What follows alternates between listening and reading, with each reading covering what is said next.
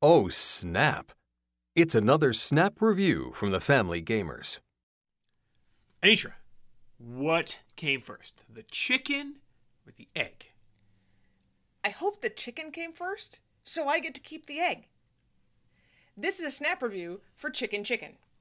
Chicken Chicken is a fast moving memory game for two to eight players, ages six and up. It was designed by Charles Bossart and is published by Gamewright under license from Okaluda Editions. Let's talk about the art in this game. Here's some art. The illustrations by Pauline Berdal are clever and welcoming, and it's really easy to believe that the foxes here only scare off the chickens. They're so cute. All these illustrations strike just the right balance in this memory and pattern recognition game. They're clear, but there are a few you could mistake for each other if you're flipping the cards quickly. So, Andrew, let's tell them how to play the game. Absolutely. So one person gets to be the head farmer. The head farmer in the group is controlling the deck. They're slowly flipping out cards. You can determine your speed depending on Slowly. your family or, or whomever is playing from the deck, one at a time, and stacking them in a face up pile so that the most recent card is the only one that is visible. All the players silently count to themselves how many eggs there are. But there's a catch. If a hen comes out, the hen sits on the egg and it covers it up, and so the number goes down. When a fox shows up, it scares off the most recent hen, bringing an egg back into play. When a player thinks they have exactly five eggs in the pile, they slap the pile. Whoever slaps first, they get a colored egg fragment. It's But other players can challenge them to get a fragment instead.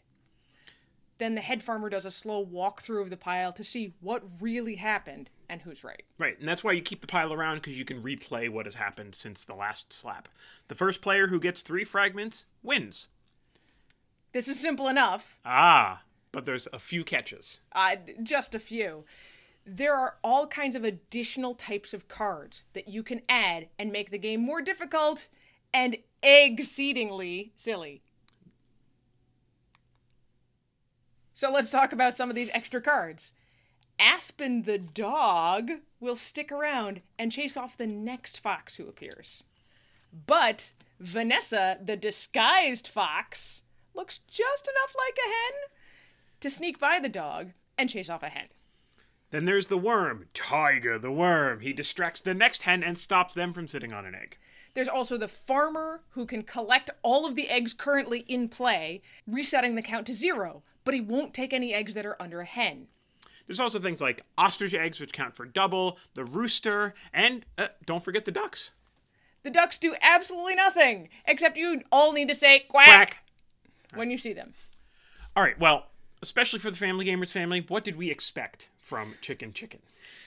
Well, slapping games don't generally go over real well in our family, even when they're supposed to be silly. There's just a lot of hurt feelings because a small difference in pattern recognition will make a huge difference. especially with age differences too, because that's really what is going to affect that stuff.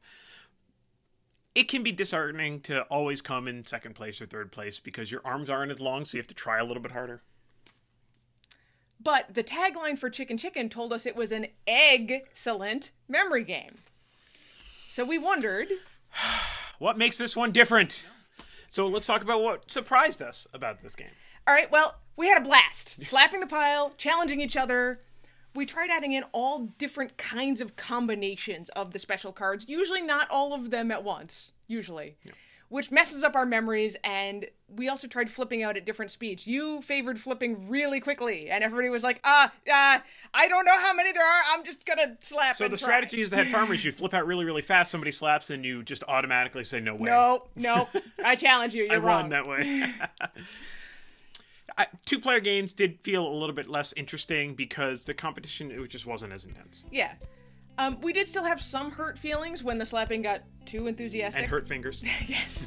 but most of the time we were laughing because it's so silly. All right, so Anitra, do we recommend Chicken Chicken from Gamewright? Well, it's compact, it's silly, and it takes less than 20 minutes to play, even at the maximum player count of eight players. There's no rating required, and you may find your kids beat you unless you can play really close attention to the pile. I would recommend it for family gatherings, especially with a wide range of ages and lots of players. All right. So, Andrew, what do you think we should rate Chicken Chicken from Gamewright? Well, with all of that stuff that you said, I think we're going to have to rate it four eggs out of five. And that's Chicken Chicken In a snap. snap.